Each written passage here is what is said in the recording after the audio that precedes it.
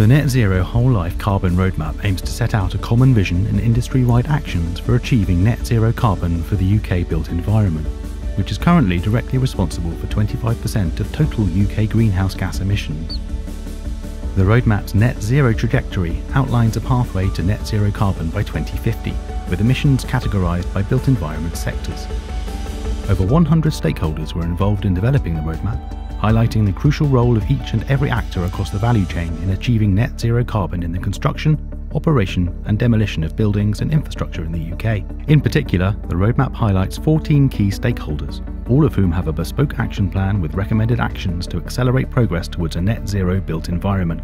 I'll now talk through some of these stakeholders, starting with investors, who are crucial to establishing a financial landscape which favours investment that contributes to our net zero goals.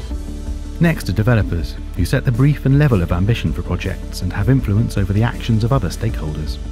Next is design teams, comprising architects, engineers, and other consultants who have a responsibility to ensure that early design decisions prioritise whole life carbon reductions.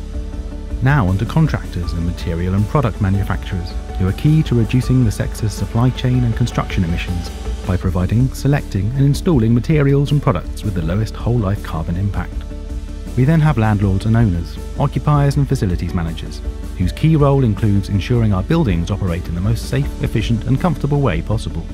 Finally, we have infrastructure clients, owners and designers who deliver crucial built environment services such as water supply or energy networks that enable our society to function. The actions are split into three categories to enable stakeholders to play their part in achieving the roadmap's goals, whilst recognising varying organisational contexts and current market feasibility.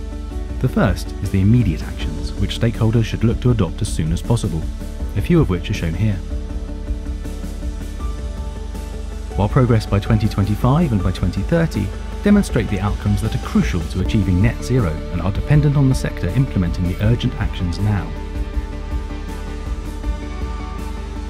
These action plans should be used by each stakeholder to inform and steer the design and delivery process to accelerate the decarbonisation of our built environment. Although the stakeholders all have their own distinct action plans, it is important to recognise that they all interlink, and collaboration is key to creating effective briefs and procurement strategies to achieve our net zero goals. Ultimately, the stakeholder action plans all aim to support progress towards the five key priorities highlighted by the roadmap, consisting of areas that government and industry need to support and implement in order to achieve a net zero carbon built environment. To find out more about the Net Zero Whole Life Carbon Roadmap, please visit our website.